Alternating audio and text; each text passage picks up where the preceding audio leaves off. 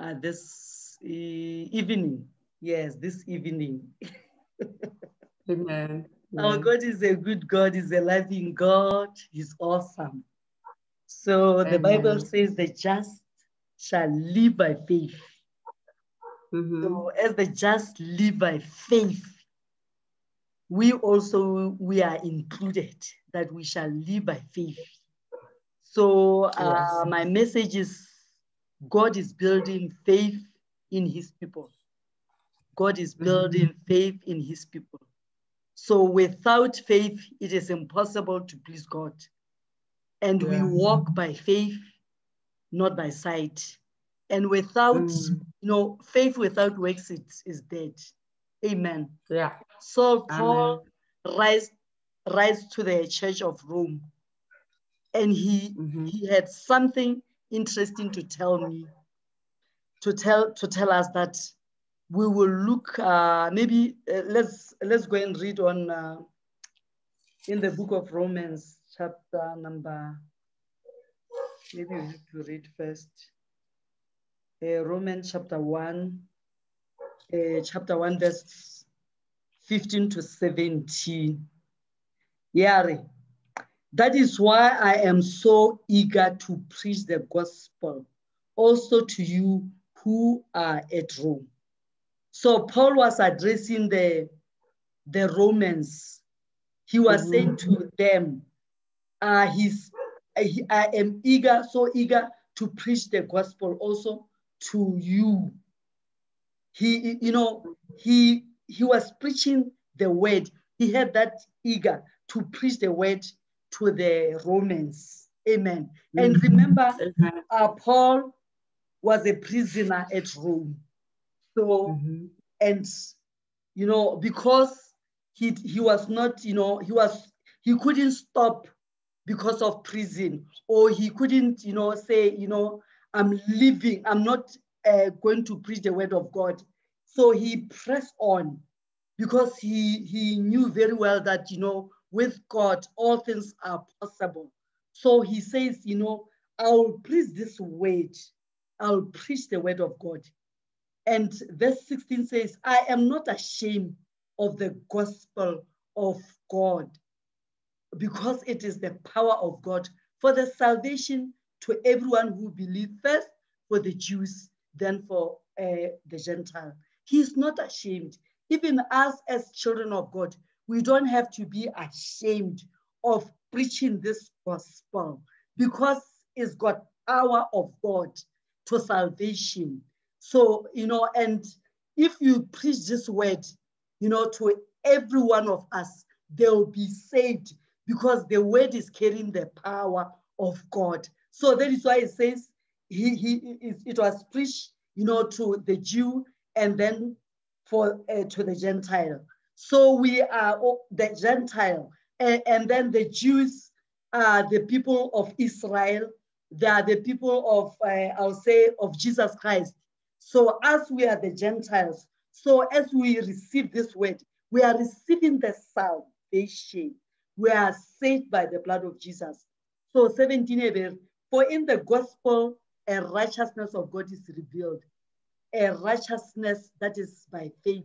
From first to the last, as it is written, the just shall live by faith. So for in the gospel of righteousness for, from God is revealed. So in that word, in the word of God, the righteousness of God shall be, is revealed. Amen. So Paul was, uh, as it is written, that the just shall live by faith. In other words, Paul was saying it was written also in the Old Testament. Amen. So the gospel, the gospel, in the gospel, a, righteous, a righteousness from God is revealed.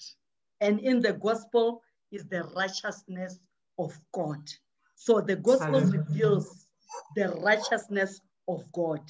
So there's no way uh, that anyone can be righteous or become right, righteous without the gospel of Jesus Christ. Amen. Yes. So because there Amen. is the gospel is the righteous is the righteousness of God. For it is written, the just shall live by faith. Yes. So the just shall live by faith.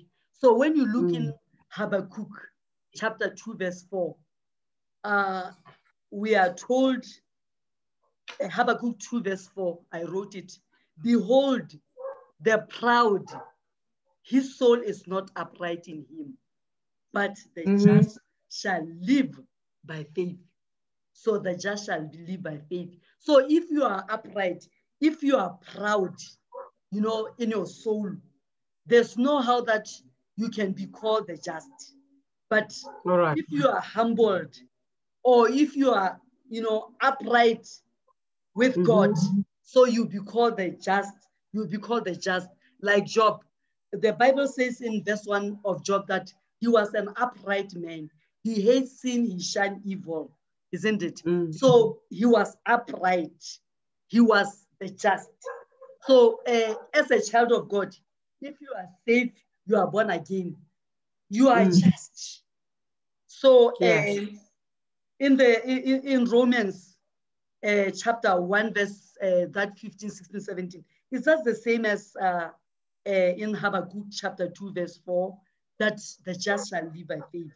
So Mm. Habakkuk prophesied to the people in Judea, saying, Remember, Jesus is from uh, the tribe of Judah. And Habakkuk was telling, you know, Habakkuk he saw, he saw a vision in, in, in chapter one. He saw the Mm. vision of the Samaritan, how they were, you know, they were being captured by the Mm. by by by the by the what do you call it? They were in captured by the Babylonians. They were in captured in Babylon. So they were, you know, they were they were living like slaves, and they were, you know, they were they were far from God because why? They sinned against God. You know, God in the beginning, He, you know, He chose uh, Israelites to be His Mhm. people, and the Israelites on the way, as the Mm. Lord was taking care of them from, you know, from the Egypt uh, to the promised land. They were doing a lot of things. They were doing negative things until the time that, you know, God decided to, you know, to split them. So the, the, the, the, the, the children of Israel, the Samaritan, they were split from, uh, from Judah because of the sin that they've committed. So they were, uh, you know, worshiping the idols. They were, you know, living a wicked life and all these things because uh, Habakkuk was a prophet of God. So God reveals this thing to them. They were, they, they, they refused because Habakkuk tried to show them that, you know, you uh, tribe of Judah, don't try, don't try to be like, you know, to, to be like the children, uh, the children of Samaria. Because if you can see how the children of Samaria suffered, you will cry. Mhm. So they didn't even listen to him. He tried to tell them that you know you are going to suffer. Uh, you are you are not going to you are going to be a slave. You are going to you know things are not going to be okay with you. But they just they didn't Mhm. listen. So even us today, we know we preach the word of God to people, and they don't Mhm. listen. You know until they get into trouble is when they will remember. Sometimes they even Mm. die. They go into that situation and they end up dying because of Mhm. not listening to the to the word of God. So Mm. uh, Ju- Judah walk up, uh, you know, upright, or you you otherwise you are going to suffer. Judah, I'm talking Yeah. about you. I'm talking about me that if I don't walk, you know, uh, upright before God, I am going to suffer. So Judah, we don't listen. So Habakkuk was troubled by Judah, and Judah was not listening, and he, he was not even paying attention. And the more Judah, uh, uh, Habakkuk was talking to, the, to them, is the more they were, you know, they were messing up. They were not, you know, turning, they were turning away from God. So when you see Habakkuk Mhm. chapter 1, verse 1, the Bible says the burden which the prophet Habakkuk saw. Uh, what Judah was doing in turning away from God was very bad for Habakkuk. So Habakkuk want, didn't want them to go and face the same problem that uh, the Samaritan uh, went through. Even as when we preach, uh, we preach to people, they, sometimes they don't even listen. They end up being in trouble. They end up, you know, facing troubles. So um, Habakkuk cried to God for them in verse 2. So he cried for them, and because death and destruction is on the way. So Habakkuk understand the times and the season. So these people, they were, you know, they were they were not there. They were far. You know, they were in, they are doing their things. They are worshiping their gods. They are creating their gods. They are doing a lot of things that were not pleasing God. So Habakkuk, you know, was trying to show them that, you know, uh, it's just around the corner before the Lord destroys destroy you. Because he has, he, in the in the Bible, there's a there's a way where the Lord says, uh, you know, the army of the Babylon or the army of Ch- uh, Chaldon have no mercy. Mm. They, they didn't have mercy to the to the children of of, of Samaria. They killed mm-hmm. the prophets, they killed the kings, they killed the family. You know, mm-hmm. so he sees them uh, ready. He sees, you know, Habakkuk see, you know, the, the, that the battle is coming. The, the, mm. you know, the, the, the, the Babylonians that are coming to attack them. So this, you know, uh, he, he, he, he wanted them, you know, to come and confess. So as a child of God, we need to make corrections in our lives. We need to mm-hmm. listen to people. We need to listen, you know, to listen to you know, to people who are before us and or to listen to the prophets. You know, we have to listen. Even, you know, we, you have to be teachable. You have to be yeah. able to be teachable, you know. Mm. So uh so these people, the the the Jew the Judah, they didn't listen. They were just mm. after their things.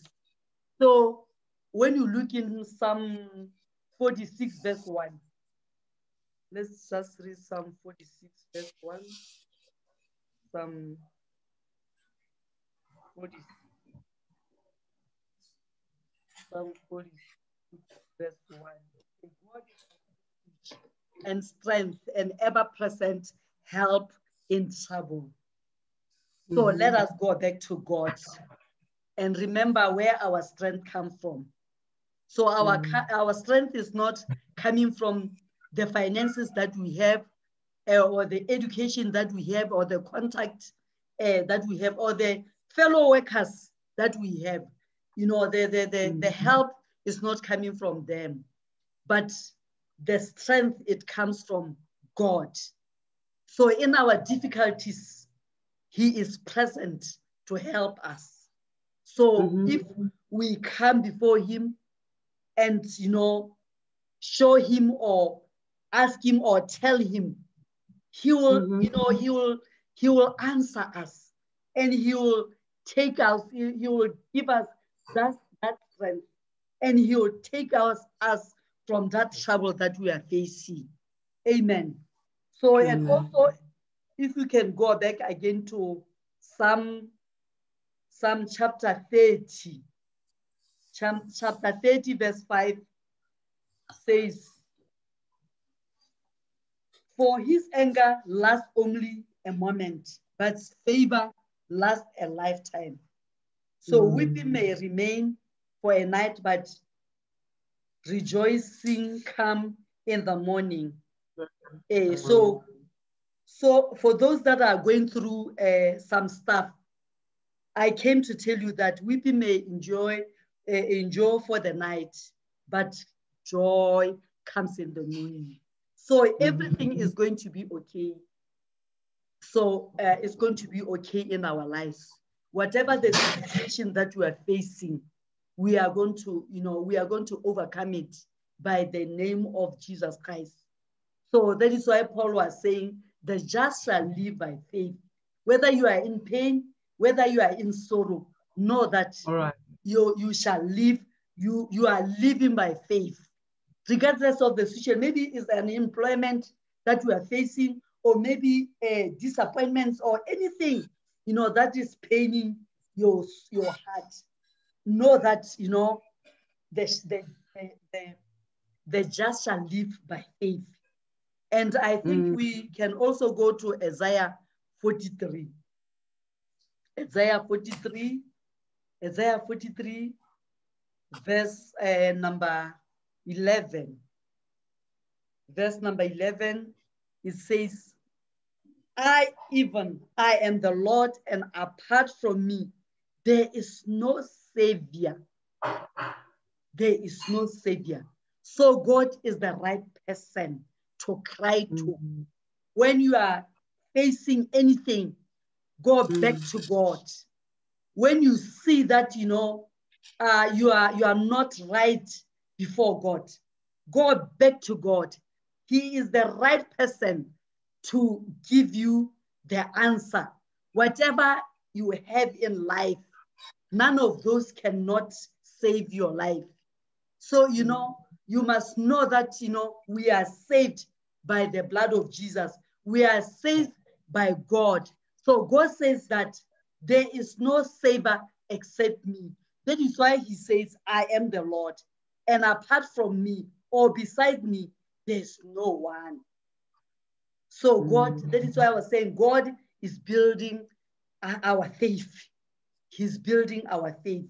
So you need to know that he is your savior. You need to know that he's the one who can save you. So Mm. Paul says to them that receive him, to them that gave power to become sons of God. So God is giving us power to become the sons of God. So if you go to uh, Acts 4, X4 verse um, Acts 4 verse the verse 4 verse 11 11 it says he is the stone you build you builders rejected which has become the capstone. Salvation is found in no one else for there is no other name under heaven given to me by which we must be saved. So we have to come back to god. We have to come back to god. Uh, whatever we have done in the past, whatever we have done, you know, we have, or maybe wrong things that we have done, let's come back to God. Because He's the cornerstone, is the cornerstone. Uh, the other Bible says that is the, the cornerstone that the builders rejected. And sometimes Mhm. when they are building, they'll take that stone and you know and build again with it. So uh, salvation is from the Lord. You can get the, the salvation from God. So today uh, we are called to come back to God. We are called to be the righteousness of God, to be Mm. the people who are saved. So we need God in our lives. We need God to take us through, you know, all circumstances. We need God, you know, to save our lives, even the lives of our children. So that is why normally when we pray, we pray for our families, we pray for our children. So, you know, Habakkuk was crying like me and you as we are crying for the nation, as we are crying for the people of God. He was crying for the Samaritan because we are called as an intercessor to stand in the gap for the nation, to stand in the gap for our families. So uh, that is why sometimes God can reveal things, eh, eh, you know, things that you know strange to you, things that they can make you to cry. So in that way, go back to God, cry to God. So when you look in Habakkuk chapter, Habakkuk chapter number, if you can go back to Habakkuk, our main scripture, number one to number one.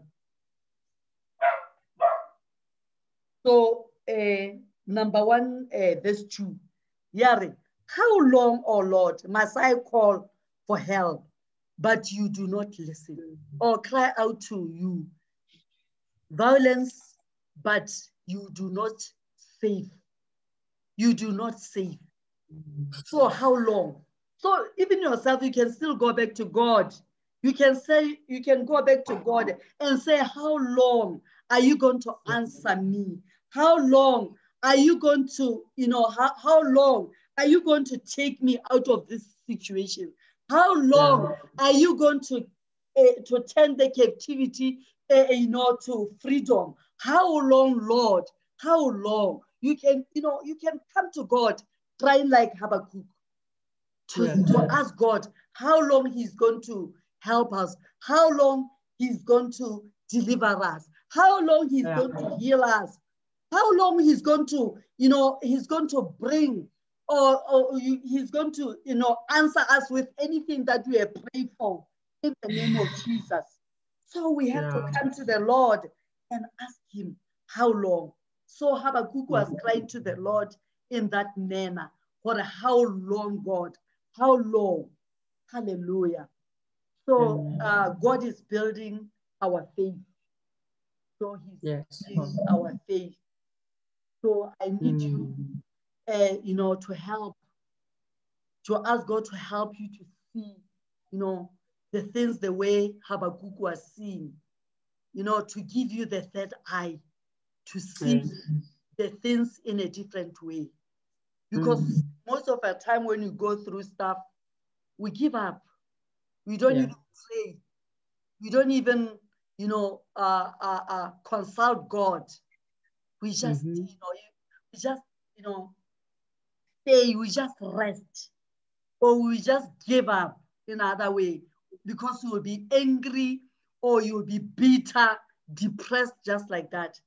But Paul is pointing us to Habakkuk that when you are facing stuff, go back. Go yeah. back to the word of God. Make the word of God standard of your life. And mm. when you do mm. that, you are developing your faith. And later on, when you face something, you will see that, ah, you know, that day when I had this situation, I went back, you know, to God. I did this, I did this. So you'll remember yourself. You'll remember the things that you did that time. So that is why I'm saying that uh, tonight, let us, you know, come to God. Let us find, you know, our refuge in God. Let us find our strength in God. Let us, you know, come to God with a heart that says, I want to be born again. I want the salvation. I want God in my life. I want Jesus Christ to be, you know, the, the, the ruler of my life.